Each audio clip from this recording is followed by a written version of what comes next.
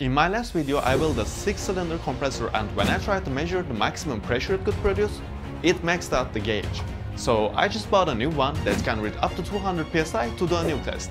Also, I will try to pump up a car tire and try to blow up these soda bottles that I'm using as an air tank.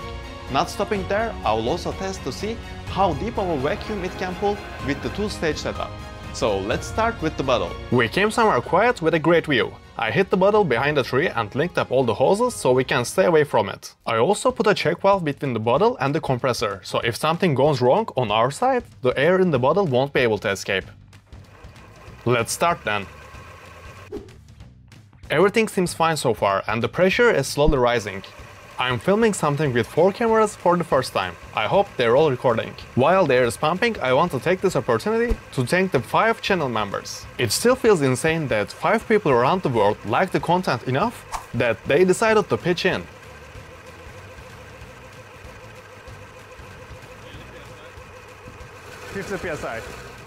As the pressure increases, the compressor slows down. I'm increasing the voltage to keep the same speed.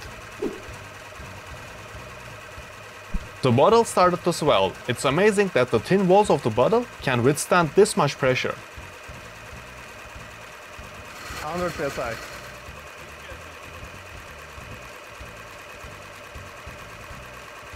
It now passed the maximum pressure from the last video.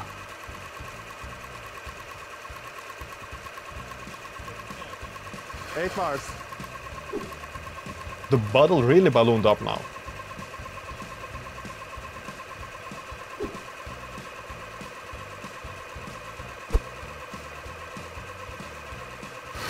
Nine bars.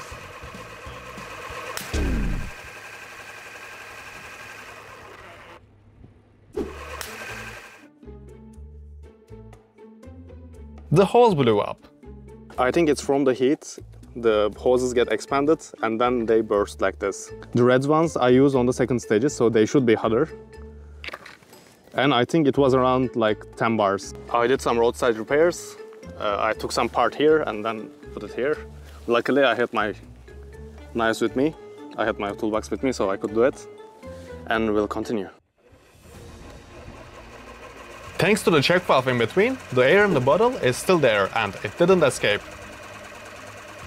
Back valve is stopped at around 10 bars.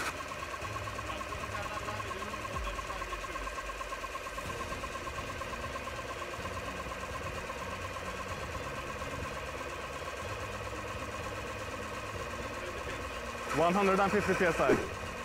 It should explode anytime now. I'm quite nervous.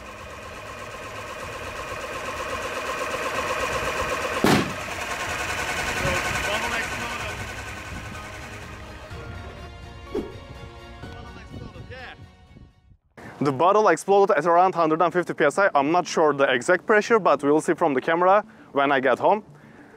Luckily, we got we're in some place like really str- stranded. There's nobody here. If I did it, if I did this in my home, the whole apartment could call the police. It was so loud. The pneumatic fitting is here, but the bottle is not. At around 150 psi, it exploded. Unfortunately, when I got here, my camera here wasn't filming, so I'm not sure if it got footage and then closed, but I'm not sure if it got the explosion. I'm pretty sure this one got it, but you can never be too sure with- without like putting it in the computer and seeing it yourself. But the bottle is here.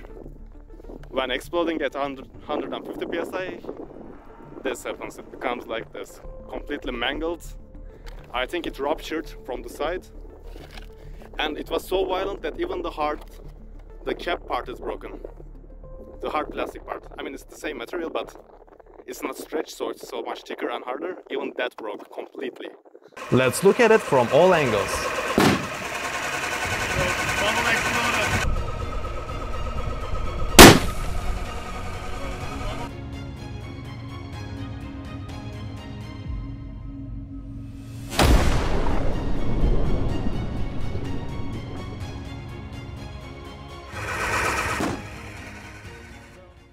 Just like the ones on the internet, the bottle blew up around 150 psi.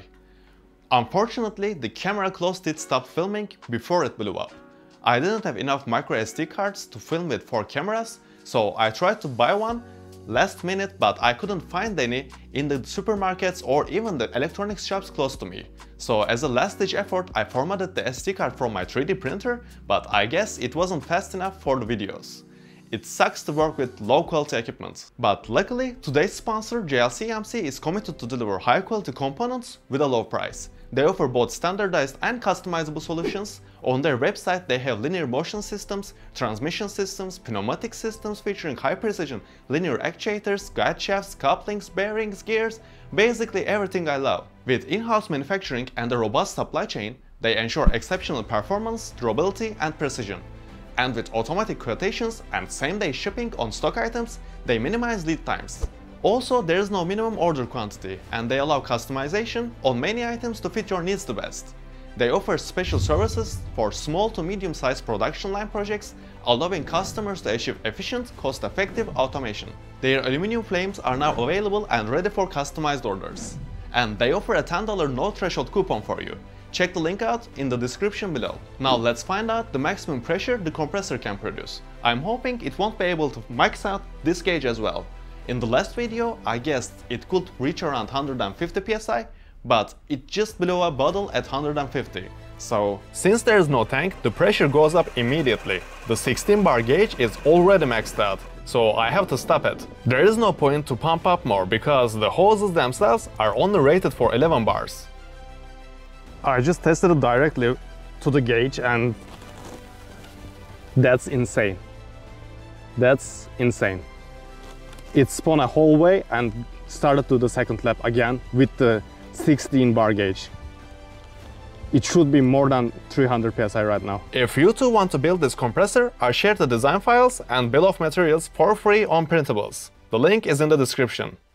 By the way, if you haven't seen the other videos on my 3D printed compressor slash vacuum pump series, I put them in a playlist and the link to that is in the description. In the other videos you can find out how they really work, the design process and the assembly.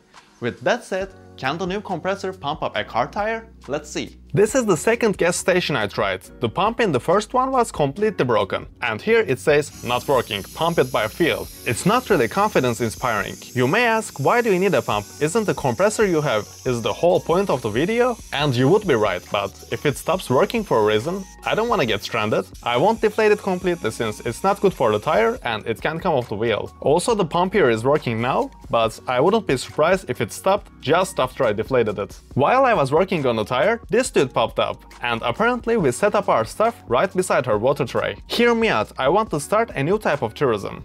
A lot of people come to Turkey for hair transplants. So why shouldn't they also come to adopt a dog or a cat? Turkey is like a giant supermarket for pets. Just pick the one you like off the street. Puppies like this are literally everywhere. And honestly, it should cost much less compared to buying one in America even with flights, accommodation and vet bills. It's a great deal.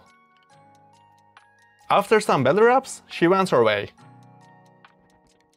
Let's move on. Interestingly, it takes much less time to pump up the tire, compared to deflating it. I'm guessing the hose and the valve are too small, so they limit the airflow. The pump is able to produce a lot of pressure momentarily, and that pressure increases the flow rate.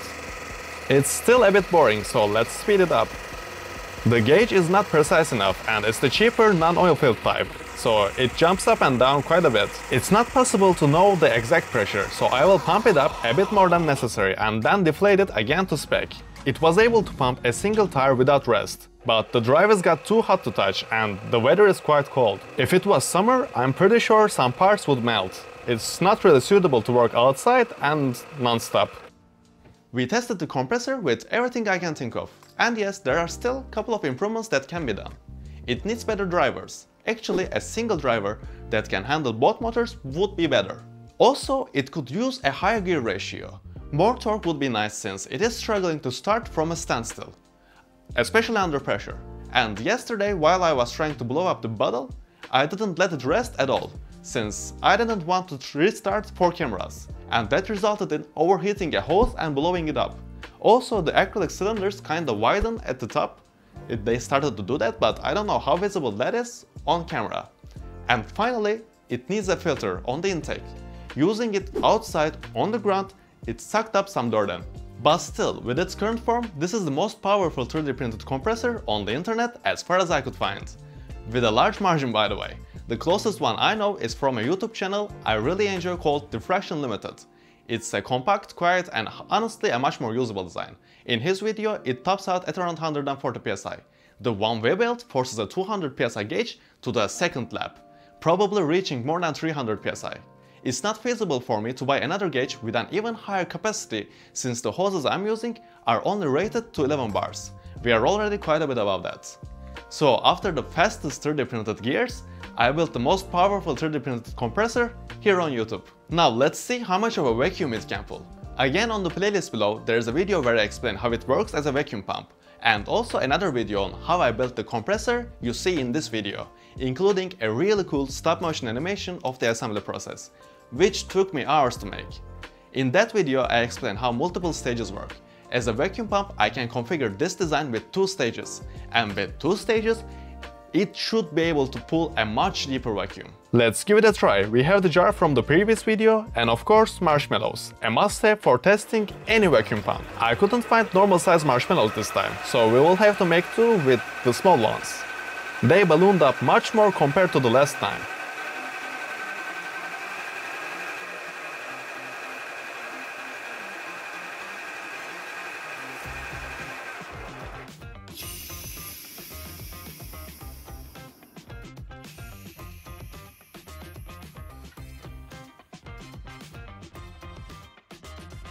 It was able to drop the pressure by 0.9 bars, maybe even more. The last vacuum pump I built was able to drop it by 0.8 bars. It doesn't seem like much of a difference at first, but vacuum doesn't work linearly in this case. It's more of a logarithmic curve. There is a significant difference between them. The new setup can pull a vacuum twice as deep, meaning there is half as much air left inside the jar. This is a properly deep vacuum. As far as I could find, this is now the most powerful DIY vacuum pump as well. Another record that nobody cares is broken. Let's celebrate it by trying to boil water again. It's not still deep enough of a vacuum to boil at room temperature, but it should be enough to boil it around 40 degrees. Celsius of course. No kettle is needed this time. Hot water straight from the faucet is enough. It's currently at 44 degrees. Let's start. The pressure drops fast.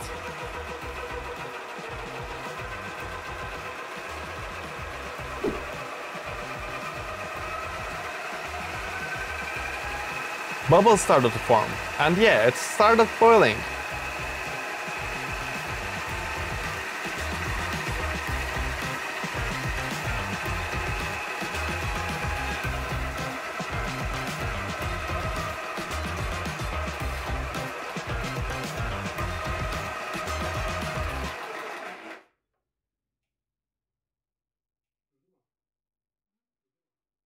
Let's let the air back in. I wash a lot of dishes every day with water this form, and my hands don't have the heat resistivity buff that my mom has. But still, I guess I unlocked the achievement of being able to wash dishes with boiling water. And finally, let's see the actual deepest vacuum we can pull. We have another card that we haven't played yet. Since the new compressor is hands-free, I can use the old vacuum pump as an additional stage. So in total, this will be a 3-stage setup and theoretically, it should allow us to pull a much deeper vacuum. I inserted the old pump in between the jar and the new one, so we have one more stage now. I'm running the 6 cylinder first, and it starts to pull a vacuum as best as it can. Air can pass through the other one thanks to the check valves. And when I run the old one as well, well, nothing happens. But why?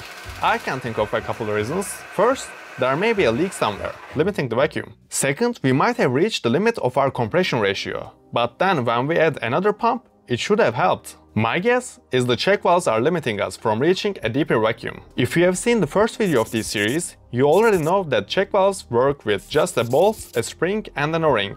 They allow flow only in one direction. If the flow is in the wrong side, it pushes the ball into the o-ring and makes a stronger seal. When the flow is in the correct direction, it can easily push the spring and go through, but at least enough pressure to push the spring is needed. The gauge is not really precise, but I'm guessing the pressure dropped by 0.09 bars, less than one tenth of atmospheric pressure. In this case, to the left side of the check valve, we have the jar with this pressure, and on the right side we have the pump. I know this is not possible, but let's imagine a world where the pump can achieve a perfect vacuum, so the pressure is 0 bar. In this case, the difference is only 0.09 bars. This pressure may not be strong enough to push the spring and pass to the other side. The minimum pressure that can pass from a check valve is called cracking pressure. The ones I use don't have a brand, but similar check valves I found online have a cracking pressure of 0.05 bars. So let's assume it's the same for the one I'm using. That means the pressure in the cylinder drops to 0.04 bar. So the pressure inside the jar drops to 0.09 bar, 0.05 bar more than the cylinder. What else would you like me to try? Tell me in the comment section. And while you're there, go ahead and subscribe. And make sure you turn on the notifications so you don't miss the next video. It takes me a lot of time and effort to prepare these videos, and I really enjoy working on them, but I can only continue making them with your support. So thank you for watching, liking, subscribing and most importantly, sharing the videos and the channel. So far, the channel is doing really well, and I want to thank the 5 channel members again for their direct support. With your help, I'm hoping to break a lot more silly YouTube engineering records. And finally, I want to take this opportunity to thank our sponsor JLCMC. Make sure you check out their website from the link below. Their product range is so wide that it opens new horizons in your imagination. See you in the next video.